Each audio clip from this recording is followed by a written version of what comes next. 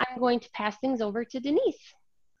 Thank you, Emily, and welcome everyone to today's webinar on delivering content online from a variety of our curricula to teach human growth and development topics. Now, we know that we are living in very, very different times than we were a few months ago, and many of you have been tasked with teaching uh, students um, at home. So today we hope to give you just a few ideas uh, for taking some of the lessons, the activities, the curricula that usually come with our simulators and models, but um, taking these activities and using them in this online delivery format. So here are the three different curricula that you have access to. Actually, you have access to many, many more, and that'll be on the next slide.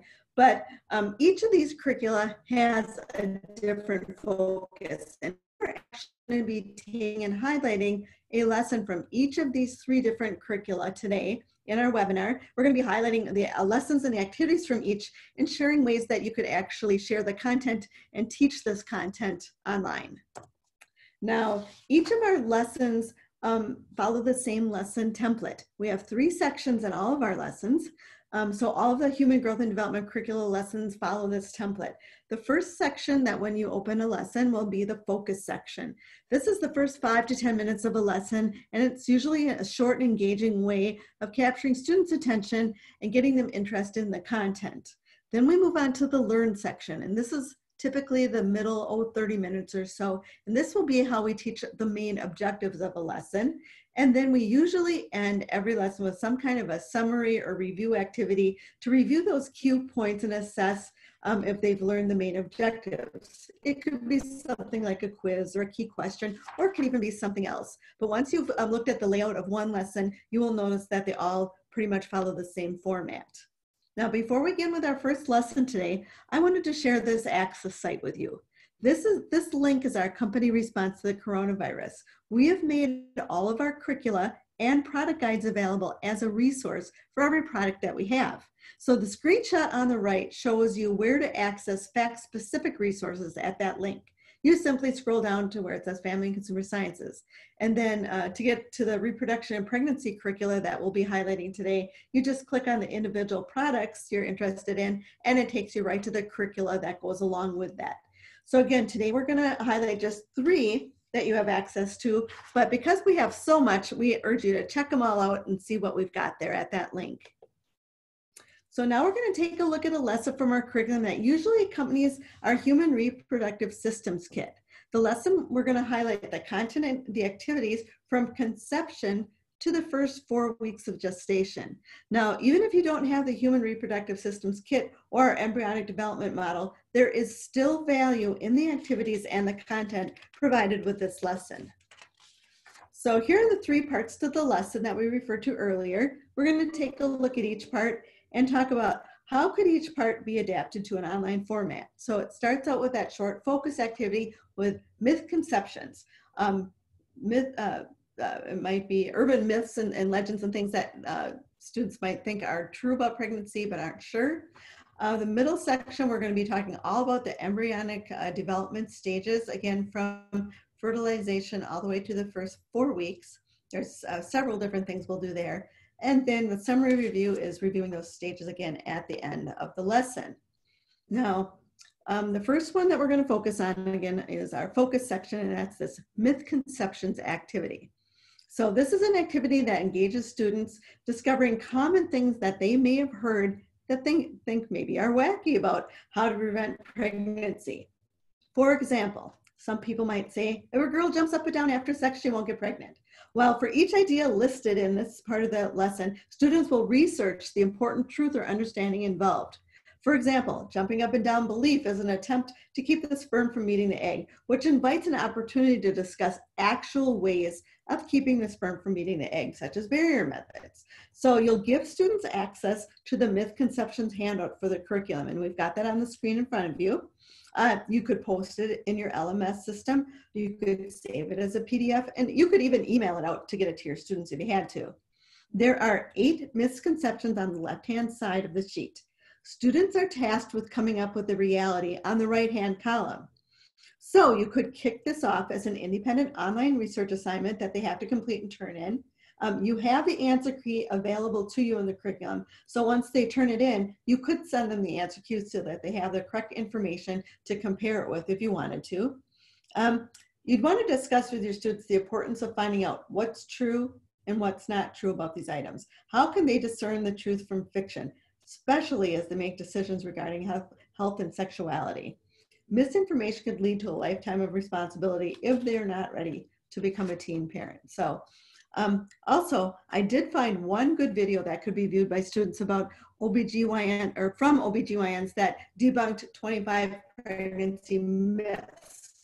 So that the content in that 20 minute video uh, goes very nicely with this kickoff uh, activity in this lesson. So um, you have access to that link um, if you choose to use it, but it's only 20 minutes and I thought uh, could be could be uh, valuable if you wanted to post it on your LMS system for your students.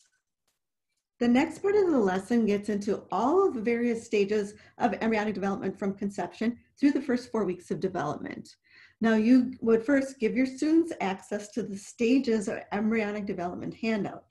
This could be uploaded to an LMS system or somehow sent to students electronically. They will need to print it out because they're going to draw each stage of development in the box provided.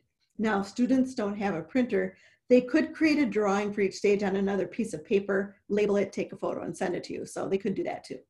Um, this part of the lesson also directs you to show students the Biology of Prenatal Development DVD. Now, when you purchase the kit, it comes with that. But however, we have found that if there, we have found a website where you can go to this DVD and there are certain sections um, and it has clips that are available for free for each stage of development. So this was just a great find that goes along with this. So we've got the link there on the screen for you. And that website is loaded with free information.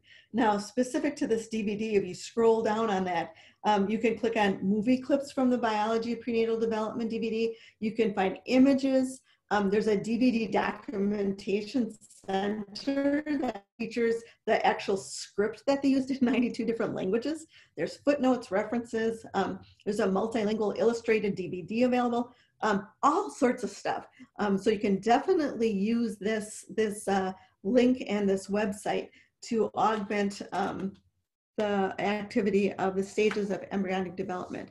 So again, you give the students that handout um, and you could give them a certain time to research using a variety of sources, um, some of which could come from this website that's on the screen if you wanted to, to find out what embryonic development looks like at various stages.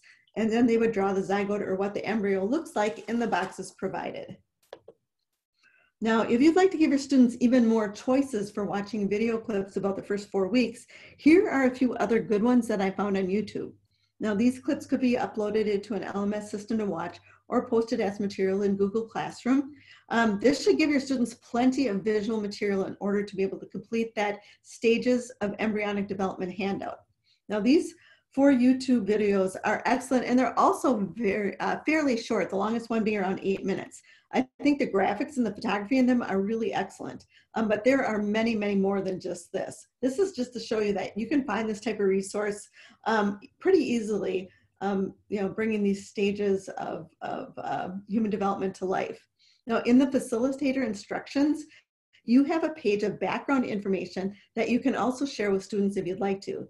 Uh, to do that, you could take a screenshot or you could use a snipping tool to uh, post the information as a PDF um, for students to review on their own as well. Then the last part of the lesson will review the stages of development from conception through those first four weeks. Now you have access to the slides and I've got the, the snapshot um, up on the screen for you. Um, and you can also have students view them on their own if you'd like to, or another thing you could do is uh, you could record your own video using the extensive notes that are in the facilitator instructions that go with each slide. So you could create your own video and post that for students as well. So there's a lot of different ways you can get this information out to them. Now, in this lesson, you also have an image of the embryonic development model that is a part of the usual kit that you would have. Now, you probably don't have access to this model in order to share the information, but still, you could use this shot um, in the curriculum to share it with students so they could still, it would be like having the model in front of them where they would still get that visual of all of the um, stages of embryonic development that that model shows. So that is the first lesson that we wanted to share with you today. Um, now we're going to take a look at a lesson from our curriculum that usually accompanies our fetal development kit. Now this focuses on the development of the fetus from month to month. So uh, this is a very robust lesson and it actually has 10 different activities in it. Now I'm going to be highlighting just a couple of them today, but remember you have access to the whole works if you want, and you could do them all if you chose to.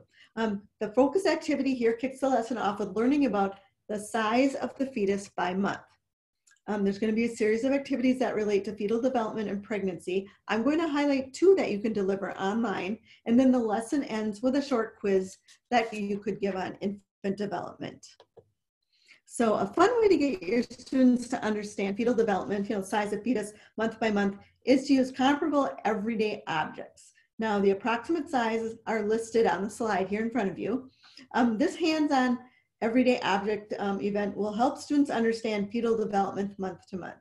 Uh, students are going to be amazed when they see some of these objects for comparison. And it's really awesome to think that, uh, you know, those young preemie babies who sometimes survive six, seven months and how tiny they are when you compare them to those everyday objects and that they live and thrive, it's amazing. Now you could do something like this a couple of different ways. You could give students the size by month if you wanted, and then they could gather nine items of similar size at home, label them by the month and take a photo and submit it to you. Or if you wanted to extend it, you could have the students research the size by month themselves and then do the part for finding the common objects of that size to identify and to compare with. So that's just a fun way to kick off this uh, fetal development lesson. Now, First of all, um, for the second part, you'll need to give students access to the trimester characteristics list um, that you'll find in this lesson. Now, you could save this as a PDF. Uh, you could post it to your LMS system, or in Google Classroom, you could put it as materials. Uh, students would need to print this out if they can, and they would cut each characteristic apart and make three piles, first, second, and third trimester. So students would need to decide which trimester each of these items belongs in and then they make a table that has a column for each first, second, and third trimester, and they put the strip in the appropriate column. So upon completion, you know, they might have these taped or glued. They could scan it, they could take a photo, and they could turn that in. Now, alternatively, if they do not have access to printing it out, they could identify which trimester each characteristic falls within, and they could create their own table and simply type in the answer or even handwrite it on a sheet of paper um, the document could again be submitted to you, the instructor, upon completion. Students can research any of the characteristics they are unsure of. So doing this will also help them get to learn what happens in each trimester of development. The lesson also includes the following discussion questions, which you could turn into a written assignment to go with the activity. Some of these questions that you'll have in the lesson include, does one trimester have more characteristics than another? Which one? Which trimester is the most important? All three are equally important, but major organs and systems form mostly in the first trimester. Now you have the answer key provided to you um, on the screen above uh, for the trimester development. So you'll have all that information. Um, it makes it very easy for you to deploy this as an activity. Another activity that's a part of the lesson is the focus on healthy eating during pregnancy. So you'd share this information with students. There's uh, heartburn and constipation are both physical discomforts of pregnancy. Some women also have a problem with unstable blood sugar during pregnancy. With this in mind, to help relieve problems, many doctors recommend mothers eat frequent small meals throughout the day. The diet should include an increase in fiber, folic acid, and be high in protein, calcium, vitamin C, and iron. Beware of sugary, salty, or high processed foods as they can cause problems such as swelling, diabetes, and remember, the goal is not to gain an excessive amount of weight while pregnant. So you would share that information. And then using the healthy eating during pregnancy worksheet as a guide, you would have your students develop a daily menu using the healthy menu sheet. So you'll need to give students access to also, there's something, there's a handout called things to avoid during pregnancy as well. So an extension of this activity would be to assign students uh, to different types of diets, such as lactose intolerant, vegetarian, limited budget income, gluten-free, etc. Students could submit a brief uh, slide presentation creating a one-week menu plan for this type of diet. So there's a lot of different things you can do with the healthy menu planning around pregnancy. The purpose of this final thing is the quiz, and that gives um, you a chance to review those main points from the lesson and give students the opportunity to think about what they have learned. You can post it as a PDF, or you could use your LMS or Google Docs quiz creator and format it as a convenient self-grading quiz. So the answers are provided to you in the lesson for your convenience. Um, so that takes you through a lot of the different things in the uh, prenatal development lesson. Now, here's an extension to it that we want to um, mention as well. Here are some additional resources and lessons that you have available to you on making good decisions during the prenatal development um, timeframe to ensure the most healthy outcome for newborn infants. You have access to the, if you have access to the infants, the um, fetal alcohol syndrome baby or the drug affected baby, you could actually create your own video demonstrations to post uh, for students to see. Um, students are going to learn in these lessons that the conditions are completely preventable. The emphasis is placed on how substances travel from the mother to the baby in utero during development and what can happen if good decisions are not made. Prenatal development can irre irreversibly um, be impacted by drug and alcohol usage during pregnancy. So these lessons will analyze the influence of the usage and what that can have on infant growth and development. So even if you don't have these infant uh, simulators or demonstrators available, the content is available to you in the link we provided earlier. And it gives you a lot of different things that you could uh, share with your students. So our third lesson that we are going to take a look at today um, is uh, pregnancy symptoms and discomforts, which is a part of our understanding pregnancy curriculum that usually comes along with our pregnancy profile simulator. Um, you have access to the entire curriculum. This one actually has 12 lessons, which are loaded with activities, information, you've got slides and assessments that you can use and adapt to an online environment.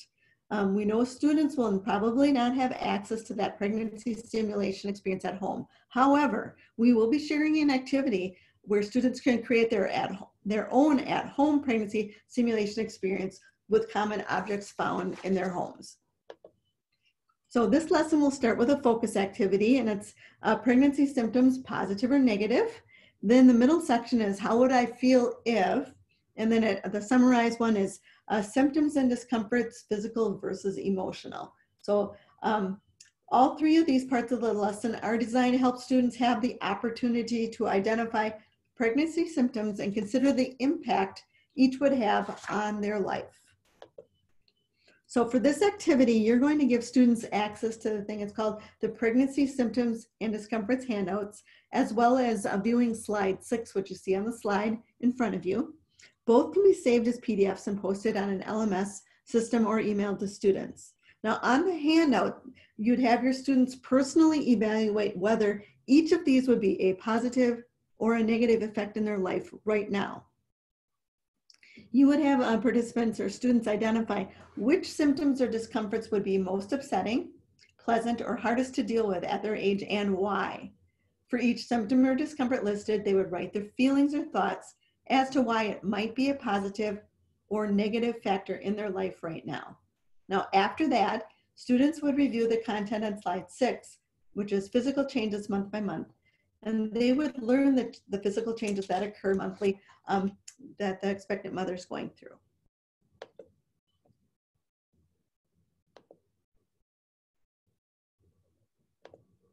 Okay, now in this activity, students would have the opportunity to reflect on how they would feel if they themselves or their girlfriend or partner were pregnant right now. Students will need access to the how would I feel if um, I were pregnant now worksheet. This could be scanned and saved as a PDF or given to students to complete in whatever manner you're able to do that.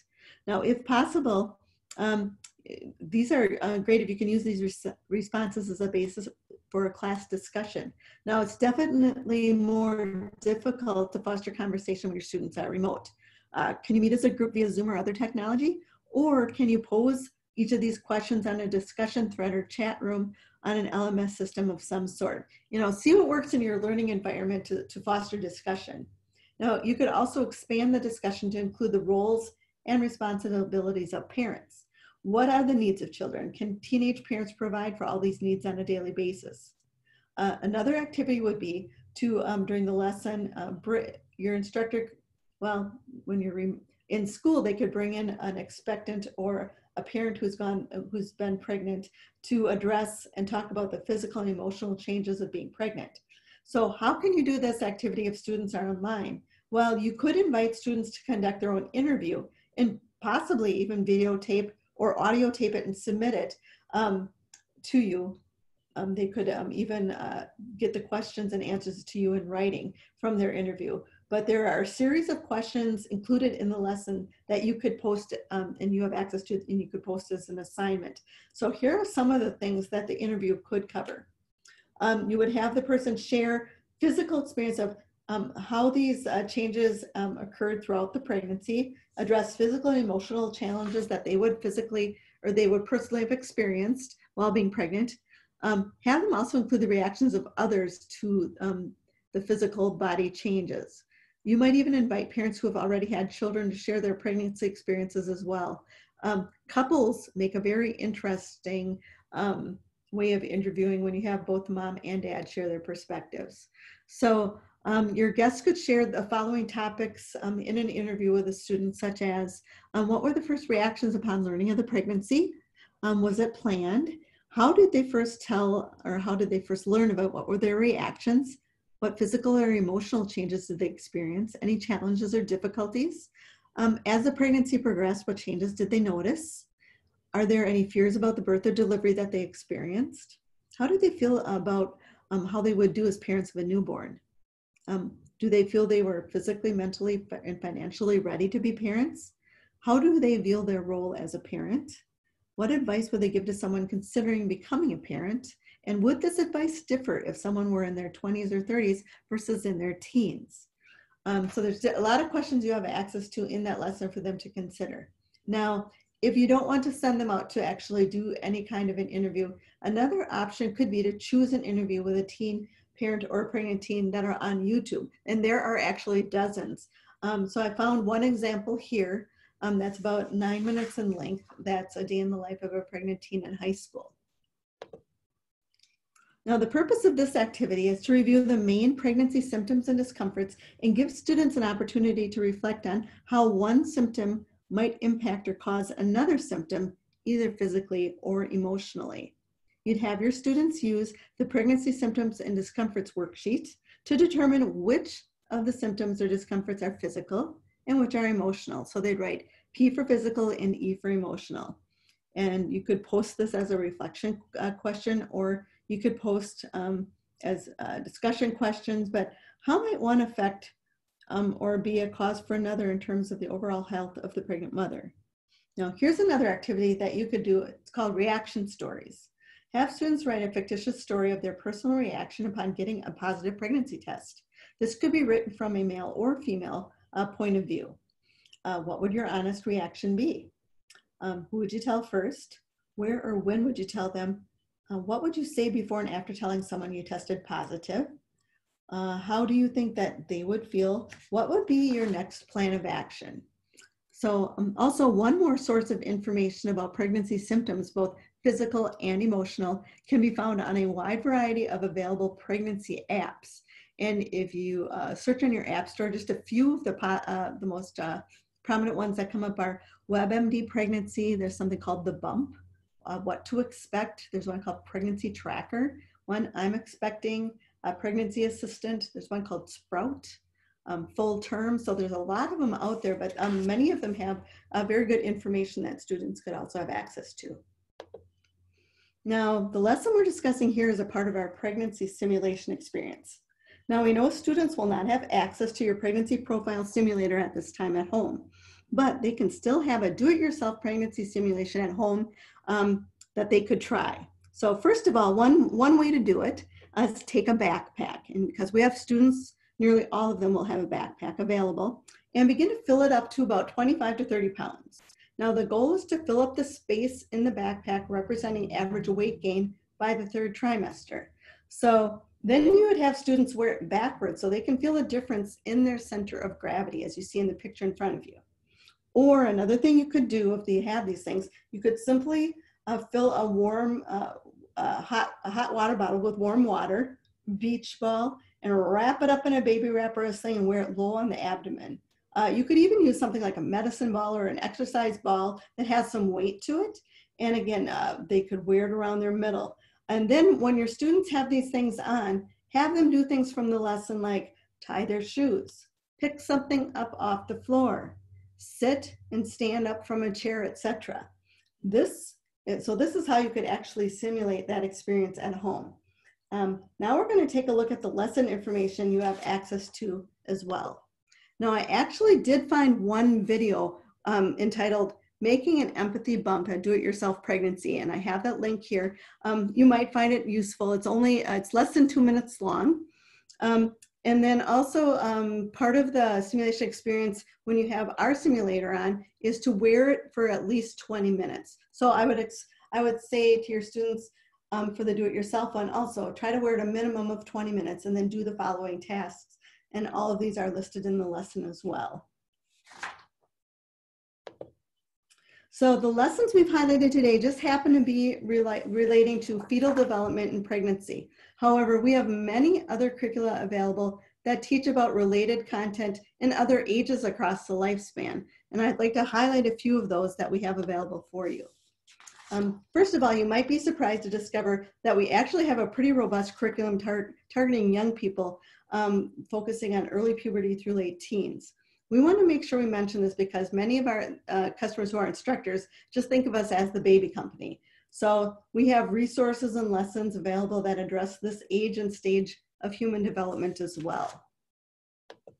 Um, we have activities that focus on relationships. Our Life Skills and Healthy Choices for Middle School Students curricula has information on physical, emotional, social, and intellectual development during puberty. Now, some of the activities in the lesson specifically deal that deal with human development are um, things like a list of changes during puberty and adolescence. It lists physical, mental, emotional, and social. Um, human reproductive systems presentation. There's healthy relationships and effective communication strategies. So we have a lot of different things available to you in that curricula. We also have activities that focus on sexuality and sexual decision making in adolescence. We have um, a curriculum called Healthy Choices, Relationships, Sexuality, and Family Planning. And this is designed as a comprehensive sex ed curriculum for high school students. Uh, some of the topics you can explore lessons on are peer pressure, that speak to the impact of the emotional and social growth and development at this time of life. Um, there's a lesson on the influence that the media can have on an individual's growth. We have a communication, self-esteem, and healthy relationships lessons that are explored and discussions regarding the impact of these things on the social and emotional development of teens um, as well. And students actually can role play various scenarios to learn refusal skills and how to positively handle peer pressure. So there's a lot in that curricula that you could take a look at. Now this next stage of human development we'd like to point out that we have available are resources in those parenting years of young adulthood. Um, now, as an adult who becomes a parent, that will have an enormous impact on the growth and development of their children and in their relationship.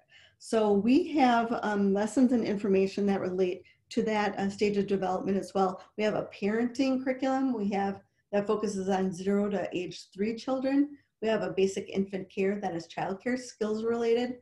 Um, you also have access to our shaken baby, our choking baby, and our CPR infant curricula as well.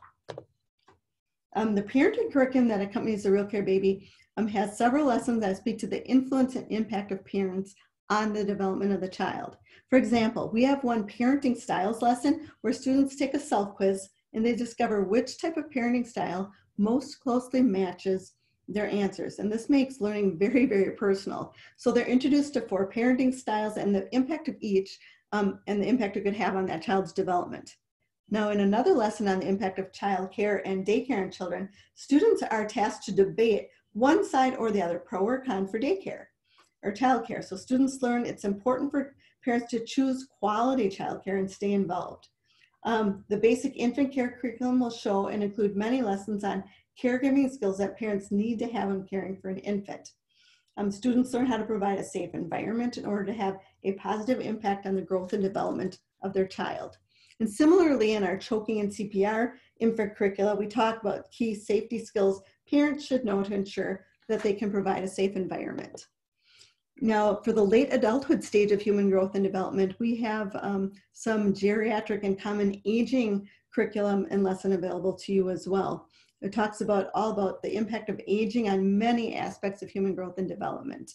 Um, the curriculum that comes along with our geriatric simulator that you have access to talks about um, all of the different things that you see here um, on the screen, common conditions of aging. So there's tons of content that you have available all across the lifespan. Now here's a lesson idea. Um, if you want to give students some at-home simulation experiences that will teach um, what it's like to have sensory and full body um, challenges. So for instance, for arthritis, you could have students wear uh, thick gloves while trying to write, tie their shoe or button a shirt to simulate um, uh, dexterity um, not working so well or arthritis, or they could wear thinner gloves while trying to open a pill bottle or open a jar. Uh, common impairments um, like arthritis, loss of dexterity, and restricted range of motion can be felt by either wearing gloves or, or even uh, taping fingers together. Another thing you could do is for eyes or a visual impairment, you could take some cheap glasses and smear them with soap or Vaseline, and that can simulate cataracts. Or you could make, uh, you could have students wear glasses of the wrong prescription or wear sunglasses indoors to simulate things like macular degeneration or glaucoma. Or for a full body aging experience, you could have your students try to breathe only through a straw while they're wearing things like ankle weights, ace bandages, back braces, if they have access to things like canes or walkers, anything that can simulate a mobility challenge will present things like fatigue, loss of strength, and restricted range of motion. So, but even something as simple as only breathing through a straw for a minute or two makes it very, very difficult. And they could see what it's like to have COPD or emphysema. Now, here are a few additional resources and places you can go to find free resources uh, for lessons on human growth and development. Uh, Discovery Education was one that came up when I looked. Um, Pinterest has just a ton of stuff if you're into Pinterest. Um, we also have a blog. Realityworks um, has a blog, and we have guest writers, and we have updates um, on a weekly basis. So you could also check out our blog, and many times we include uh, lesson activities and information. So now what? we have talked for a good half hour, giving you all sorts of lessons, uh, access to content and ideas and so forth. So I guess I would just uh, start small take a lesson or uh, an idea that maybe resonated with you, give it a try, or go out to the link that I shared and dig into some of the lessons that you're in and uh, resources that you're not familiar with. You might find some lessons you can post immediately online uh, to use with your students. Um, we also have other free FACS webinars that we have archived at the link that you see on the screen in front of you. So you could click on there and you could uh, sign up for more upcoming webinars. And we also have several that we've recently um, done and we have archived there as well. So at this point, I would turn it back over to Emily to answer any questions that we might have on any of the content that we covered today. Yeah, Denise. So I have a lot of questions on how will they have access to this, the links and the slideshow? Okay, after um, we wrap up here today, you will be getting an email from us um, with a, a, link that's of the recorded webinar. You will also be getting a certificate of attendance that you could use for professional development. And we will also be providing that link one more time for you. And when you go to that link, you click on it, you can scroll down to FACS, um, specific area on the link and it will list all the products we have. And it could be pregnancy simulation, it might be fetal development kit, it could be RealCare Baby. But once you click on the product, it will bring, it will give you access to all the lessons and the content that go with that product. It doesn't matter that you don't have that product of ours. We, um, as a caller as a response to the coronavirus, we've given um, teachers access um, for upcoming months to everything we have. So that's what you'll get after our um, webinar today. Also, for our curriculum, do we have, um, where can they have access to our curriculum outlines? On our website, if you um, um, look under um, products, there's a specific place on our website for FACS related products. And if you go on the product page, there's always a tab that says curricular curriculum overview. And you can click on it and it will give you more detail on the lessons and the content and the objectives in each of those lessons. Perfect. And then how long will they have access to the webinar and the links um, and also the COVID-19 resources? I think, I believe it's the end of June right now. We wanted to make sure that people had plenty of time to use it all through the end of this school year for sure. Perfect. Any other questions, Mm. Emily? Um, no, just they, uh, could you go back to the slide with the COVID-19 resources where they can, yeah, Yes, I will go back to that slide. Um, There we go. Yep, here's that link. And this will, again, will give you access to all of our curricula, but also you will have access to what uh, product um, guides. And if you have any anatomical uh, anat and physiology lessons, um, we have guides that have um, parts identification for any of our um, anatomical models. So if you have that kind of a, of a need, um, you also have access to that type of information. Oh, uh, we do have a question. Do you have any suggestions on disinfecting the RealCare babies when we get when they get to use them again? Um, simply what you what you're doing mostly in, in your everyday life. If you have um, sanitary, um, the um, I'm blanking on the, the types of wipes. You know the um, Lysol. yeah those types of wipes. You just wipe them, wipe them, wipe them down, and you, typically instructors will also you know wash the clothes in between and things like that. But if you wipe those babies down and then put them in the box, many times wrapped in a plastic bag, they will be ready to go and sanitized. Perfect. It looks like that is all of our questions for today. As Denise mentioned, we will be sending out all of the links and to the recording and a certificate of completion um, within 24 hours of this presentation. So thank you for joining us today um, and everybody have a great rest of your day. Thank you.